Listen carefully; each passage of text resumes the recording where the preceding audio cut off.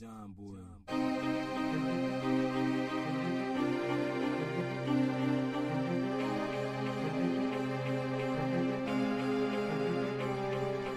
Lessons from the screen, what we mean is we go through different documentaries to tell you what they gon' do. Give you our lessons, give them our blessings. If they trash, we tell you there is no second guessing. Knowledge is power, but time is precious. And we're here to keep you running with lessons. So sit back as we groove, giving you the review. So you only spend time on the dots that you need to. Welcome back to another episode of Lessons from the Screen, the show where we give you a review of whether or not any particular information that you can get through any particular screen of any particular kind is worth your time. We waste our time, our energy, and our brain power so that you don't have to. You're welcome. Lessons from the Screen is sponsored by Pack Sync, a black activist, advocacy, and think tank with the purpose of increasing the quality of life for black people in America through education, culture shift, and economics. As always, you can check them out at www.pactsinc.org. That's packsync.org. Drop a donation, leave a comment, leave a review, scroll through the Learning Center, volunteer, uh, take a survey, whatever you want to do, become a member. Do what you can to support them because they're doing what they can to support you. We are always at a critical juncture in history, and that is one of the deeper lessons of history that you don't really get to understand until you start connecting the dots between major past events and the minuscule things that precede them. There is more to learn in some cases, just some cases, from the long and peaceful periods of history, aka the boring bits, than there is to learn in the eventful war filled periods. History is fluid, as is the present and the future, ever changing based on the actions of the present and the perceptions of the future. And that being said, we find ourselves at a critical juncture in history. You see, for the last 30 years, we have been engaging in an increasingly hostile political environment that seems to have been pushed over the edge by two events the election of Barack Obama and the subsequent election of Donald Trump. Both of these events triggered massive exponential increases in political incivility not seen since the years before the War of Secession. And I refuse to call it a civil war because it was not a civil war because the South had actually seceded. They were their own nation. A civil war is when two people of the same nation are fighting against each other. The South was their own nation. It was not a civil war. It was the War of Secession. Anyways, that was off topic, but whatever. Back on to the topic. Contrary to popular opinion, it wasn't the war that changed politics to be more civil. It was the compromise of 1877. And that brings us to the point of this show. Is democracy dying? And if it is, why are we so willing to kill it? A more timely book couldn't have been produced than the one Steve Levitsky and Daniel Ziblatt released in January of this year. A book that, at its core, takes a look at democracies across the globe and analyzes how they transformed into authoritarian states. It does this in a very comparative and analytical way, bringing every discussion back to what we see in America today. In this episode of Lessons from the Screen, we will be taking a look at how democracies This book that was published in January of 2018 is about democracy and the culture that is required to maintain it. In it, the authors argue that democracy is fragile and that the American people have not always had democracy's back. It actually makes the point that in most circumstances, the majority rules pure democracy that we have all been educated to believe exists would end up destroying democracy. And so our representative democracy was put in place to prevent that from happening. The book goes from the crafting of the Constitution through to the first year of Trump's administration, making comparisons to other democracies that have fallen while also talking about how things have changed politically in America. From the culture of American politics to the mechanics of the party system and their roles as gatekeepers. It talks about the necessary acceptability of the legitimacy of adversarial worldviews, meaning that Republicans need to see Democrats as legitimate patriots in America instead of seeing them as criminals that need to be destroyed. And the same is true vice versa. Democrats need to see Republicans, and we don't want to use these labels because these labels get confusing because the parties have swapped ideologi- ideologies in the past. So, eh, similar to conservatives viewing progressives as legitimate, progressives also have to view conservatives as legitimate patriots that simply have an alternate worldview, but ultimately want what's best for the country. And that is an interesting thing that this book chooses to point out because that particular view has been challenged very, very heavily over the past few decades. And at this point, it seems to have corroded entirely. And we we we make that point not only us, but it was also made in the book when you look at here we are two years after the election and they're still talking about locking up Hillary Clinton. You see people in the comment sections of various videos talking about conservatives or liberals needing to be banished from the country, needing to be locked up, needing to be executed. It doesn't seem like the acceptability of the legitimacy of another person's viewpoint is still in play. Seems like that was killed off. And I'd be willing to bet that that was, well, it started to be killed off during the 90s, especially during the Clinton years. It was continued to be murdered during the Bush era. The Barack Obama era saw it literally literally be shot in the head. Literally. It it just died during the Obama era. And now it's not even a zombie at this point. Like it like the memory of it seems to have been forgotten during the Trump era. So that is an interesting point and one that should be harped on. And one that they do spend a great deal harping on in the book. Now,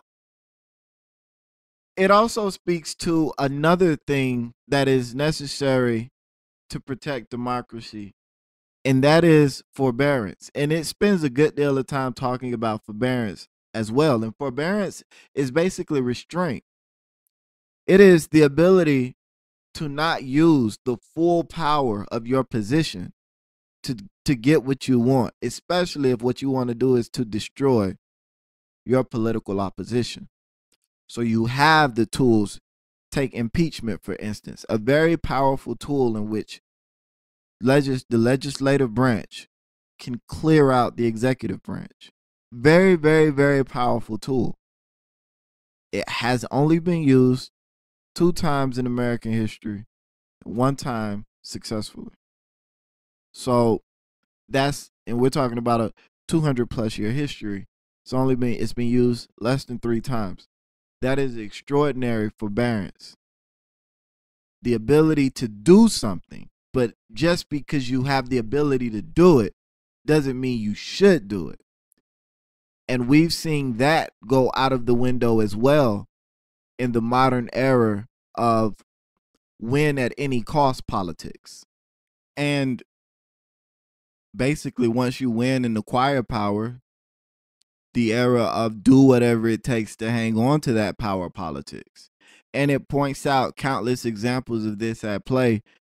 Probably the most obvious example being the Senate refusing to even hold a hearing to confirm President Obama's executive executive power to appoint a Supreme Court justice.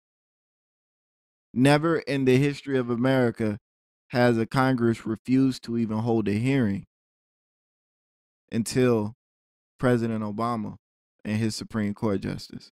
So that was a great example. And it talks, the book also talks about how these soft rails, which are the cultural norms of politics in America, are being eroded and how they are necessary institutions in order to protect democracy. Because without these soft rails, the spirit of the law is removed.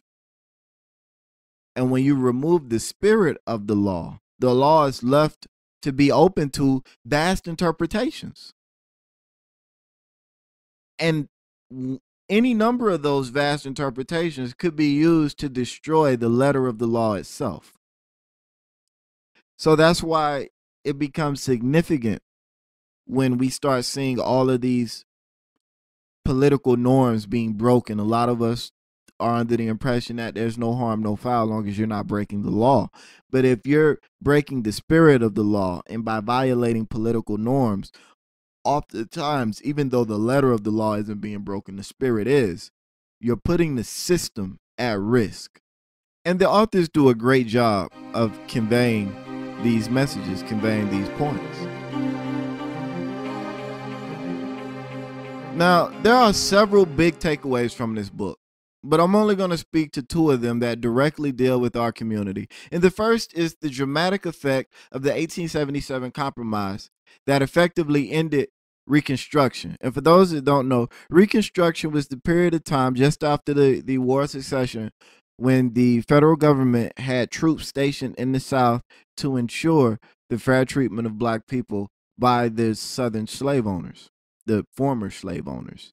And they set up all of these equal equal opportunity offices and government offices and things of that nature to ensure that the resources were provided to help these people get on their feet and to ensure that they weren't disenfranchised in any way and that they had all of the rights afforded to them as citizens of America. Eight, the eight, 1877 compromise effectively ended that. And it effectively ended black enfranchisement and replaced it with black disenfranchisement. Now, the need for the compromise was that even though the war had ended and the North won, it conquered the South and reunified the United States. Politically, there was still great contention in America. And that contention was largely being driven by the fact that these now franchise black people were voting. And they were voting in liberals. They were voting in progressives. They were voting in black people to political office. And that was an issue. And it was a a, a, a very very very tense and sore issue that prevented the country from fully reunifying in a way that it had been prior to the war. And so the 1877 compromise was essentially liberal liberal whites saying to conservative whites, "Fine. We will let you do whatever you want to do with those black people down there. As long as you get on board with the United States experiment and allow us to move forward." At which point the Southern whites said, All right, cool. We could do that. And so the major lesson here is a lesson that we've seen again and again, and that we're currently seeing now in America with regards to progressive politics. And at this point, the progressives are the Democrats. At the time, the progressives were the Republicans.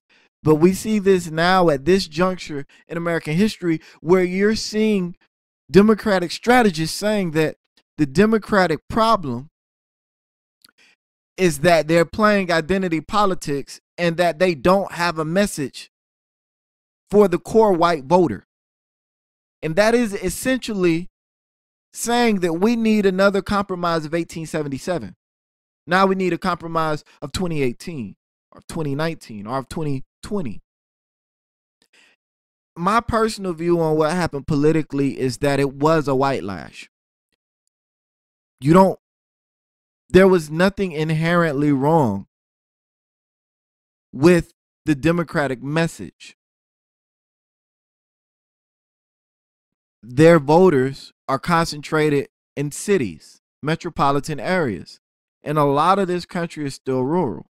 But there was nothing wrong with their message. That's proven by the fact that they generated more votes than the conservatives did. They were just all clustered together, which is why they lost the electoral college.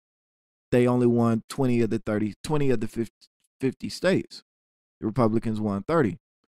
So there was nothing wrong with the message, in my opinion. They could have added some things to the message if they really wanted to appeal to the white core demographics. But essentially, when you have a man saying, a man that is embroiled in sexual allegations at the midst during the during the, the, the midst of the Me Too movement and is talking down on people and this, that, and the third, and he still gets a sizable portion of the white woman vote. There's nothing you can do at that. And I don't think there's anything you should be trying to do at that point because at that point, what's at play and what's driving the votes is something that your party should not should not stand for and should not be moving towards. But again, going back to my original point, we are seeing calls for a new compromise, which would say abandon the black people, abandon the Mexican people, abandon Hispanic people in general, abandon black and brown peoples as a whole. And to an extent, because the Christian evangelical base has joined into the Republican Party to an extent, abandon the LGBTQ community.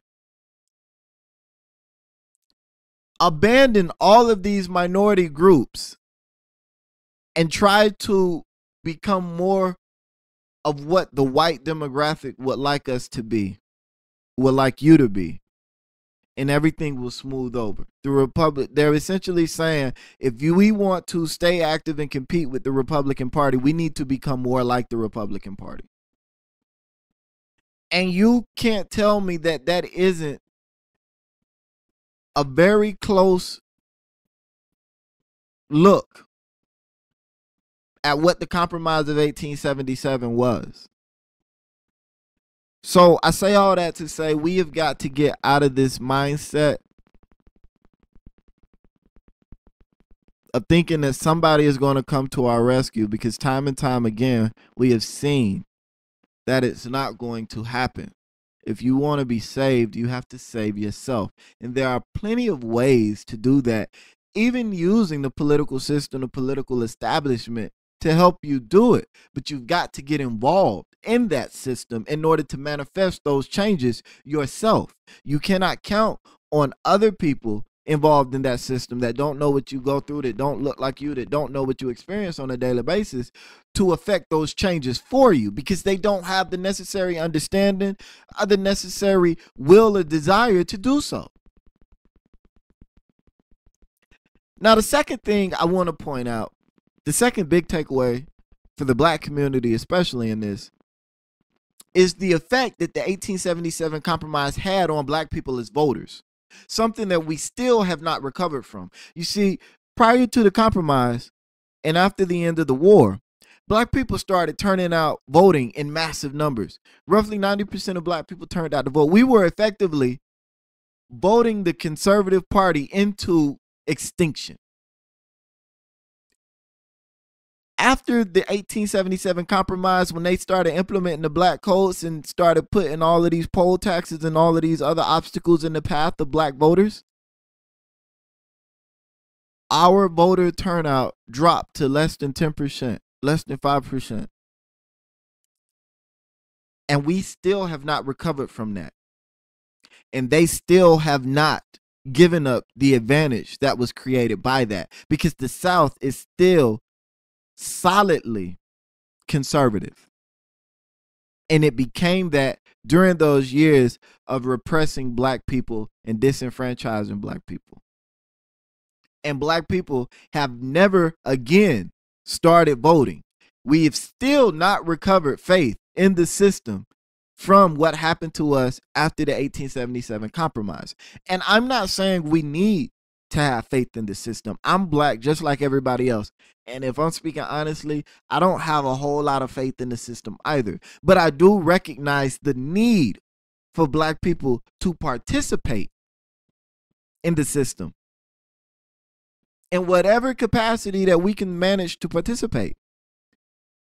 All of us don't have to be voters, voters. Political action is much deeper than voting. So for those of you that are ex-cons that can't vote, that's no excuse not to be politically active. For those of you that, for whatever reason, you have decided personally not to vote, that's fine if that's what you want to do.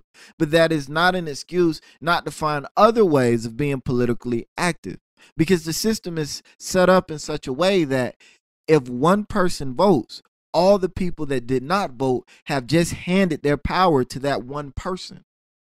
The system is not set up in such a way that you can protest the system and cause it not to function. If one person votes, the system functions.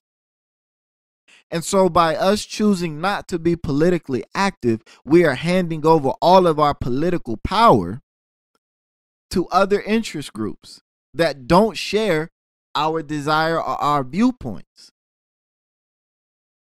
And again, I'm saying be politically active. I am not saying vote because honestly, I think before you vote, there is a level of knowledge that you should have on the process and the candidates.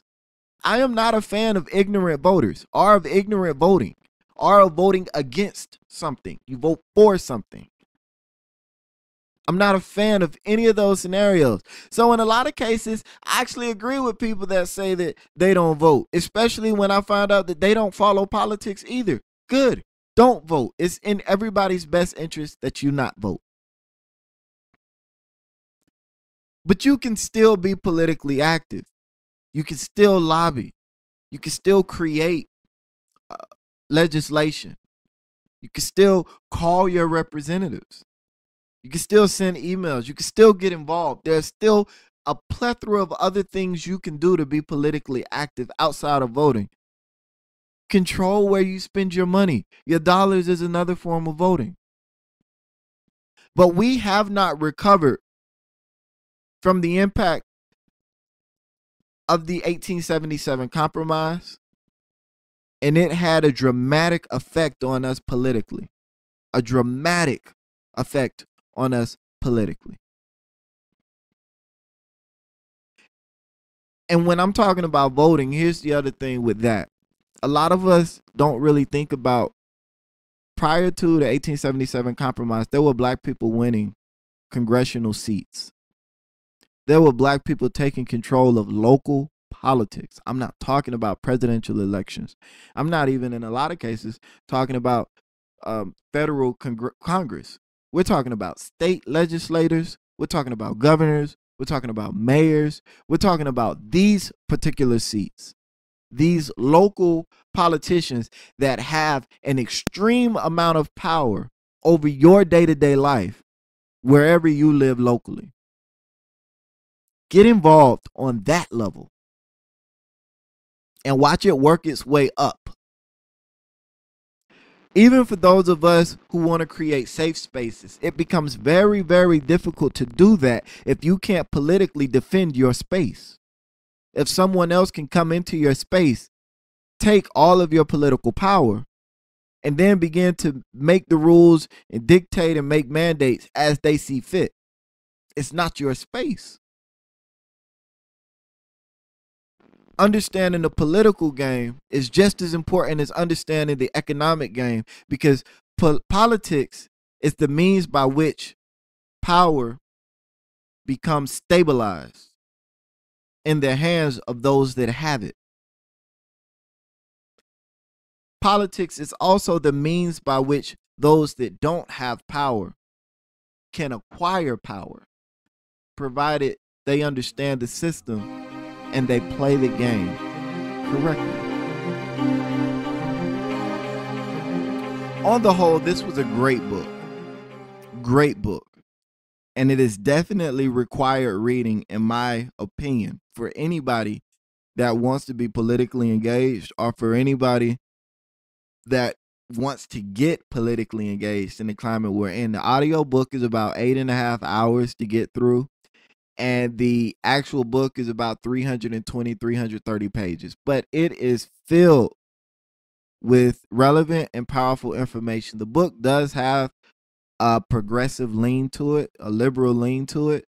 So if you're a conservative reading the book well if you're a conservative i don't really know if you'd be listening to me but if you are a conservative reading the book um take that into account. There there are going to be things that are going to be said that is going to frustrate you, such as when they make the claim that Republicans started this push, and when they make the claim that even though Democrats have continued things going, the Republicans are largely to blame for our current heading. If you're a Republican or a conservative, that's going to be disappointing to hear. But it is a good book nonetheless, even with the the obvious bias and slant definitely required reading. Thank you for tuning in. I hope you enjoyed it. Leave me a comment. Let me know what you think. As always, website www.freedomtrainradio.com. Get the app. The app is available. And I look forward to seeing you next week for the next episode of Lessons from the Screen. Lessons from the screen, what we mean is we go through different documentaries to tell you what they gon' do. Give you our lessons, give them our blessings. If they trash, we tell you there is no second guessing. Knowledge is power, but time is precious. And we're here to keep you running them lessons. So sit back as we groove, giving you the review, so you only spend time on the dots that you need to. Once again, I want to thank you for tuning in to Lessons from the Screen. Lessons from the Screen is brought to you by PaxInc through the Freedom Train Network. You can find us on www.freedomtrainradio.com or on iTunes, Google Play Music, or Stitcher. Be sure to head to one of those places and leave us a review, and then be sure to head back to the website to let us know what you think about the show and communicate with us. Also, be sure to head to www.paxinc.org and show some love and support for our sponsors. PaxInc is doing big things in the community and trying to do more, always trying to do more. So be sure to head to the website. That's www.pactsinc.org. Donate, volunteer, become a member, talk about it, whatever. They can use your support. And once again, they are doing great things in the community. And as always, Lessons from the Screen has a frame of reference and perspective that is aligned with that of the black community. The things that we look at whether it be on the trending Tuesday or the regular lessons from the screen show, will always be looked at from the black perspective. So keep that in mind because we need more minds shaped into that perspective and trying to do things that we need done for ourselves. So with that in mind, again, thank you guys for listening And Remember to tune in to the Freedom Train Radio. We have the app that's available that you can get from the website. It's in the Google Play Store. Sorry, it's not available on iTunes yet. We have the live internet radio, and we have more shows coming up. Thank you, thank you, thank you. And I will see you guys on Thursday for the next episode of Lessons from the Screen.